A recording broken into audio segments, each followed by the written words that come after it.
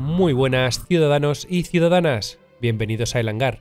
Yo soy Anubis. ¿Y qué vamos a hacer? Pues vamos a continuar por la segunda parte del Ship Pipeline, que es ni más ni menos que, bueno, cómo se hacen eh, las naves. En el último vídeo hablamos del White Box y del Grey Box. Hoy vamos a hablar del Final Art, es decir, del momento final de arte, ¿no? Los últimos toques. Y por último el Flight Ready, que es listo para volar. Básicamente empiezan tratando de determinar lo que es la superficie de la nave. Tiene que decir los materiales, la geografía, qué tipo de metal va a tener, eh, metal pintado, quizás un metal más crudo. Incluso se le aplica una serie de filtros como lo que hacen es darle una cantidad de detalle superior, aparente, de la que en realidad tiene. Esto básicamente sirve para eh, ayudar al rendimiento del juego. Si en realidad os fijáis en las alas de esta nave, parece que tienen surcos y y en realidad no es así, no tiene esos surcos, esos surcos son, entre comas, entre comillas, pintados. Por otra parte, también se aseguran de tener todas las animaciones terminadas.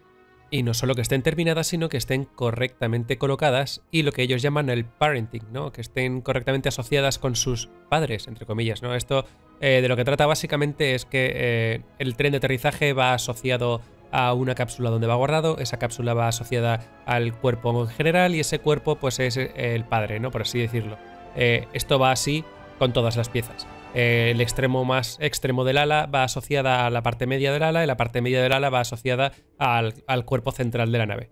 Esto es importante para bueno, temas de programación, temas de funcionamiento, eh, así que se aseguran de que todo esto esté correctamente hecho.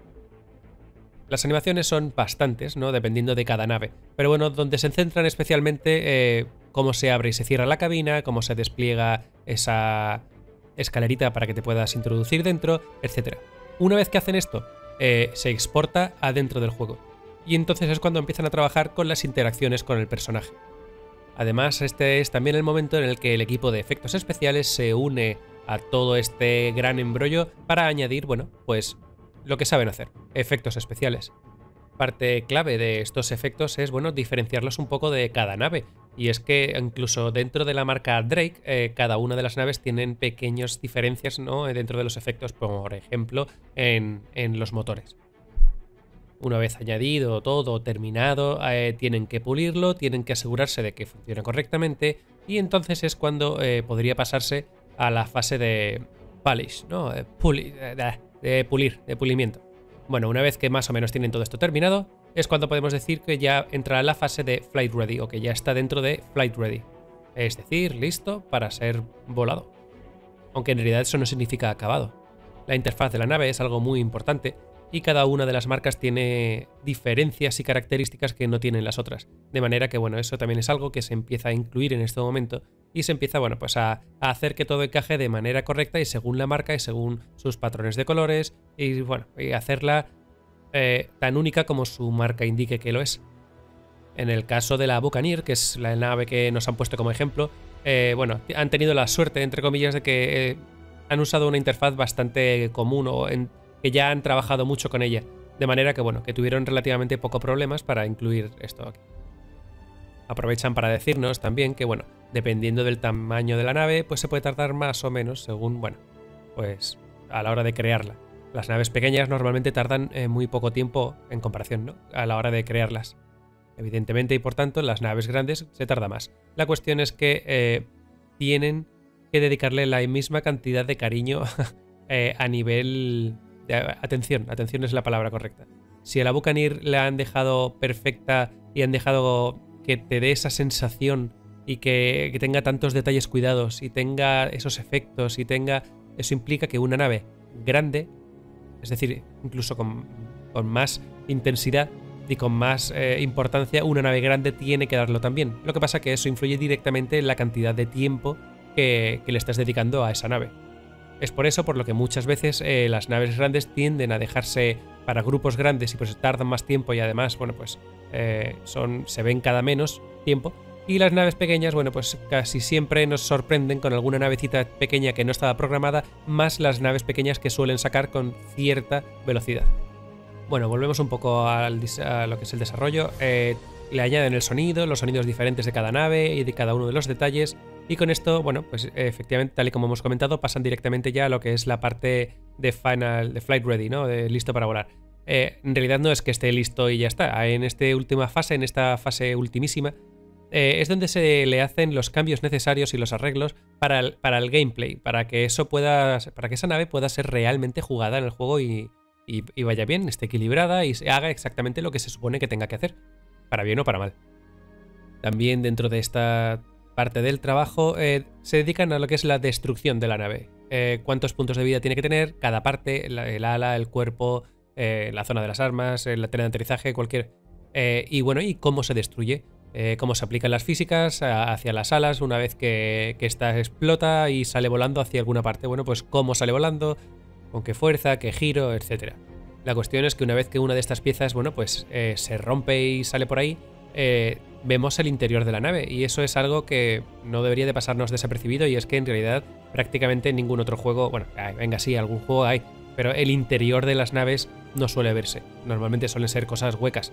En este caso tienen que crearles un interior eh, visible para que, bueno, cuando veamos como cuando la nave del enemigo o la nuestra propia ha sido despedazada, eh, bueno, pues ver el interior.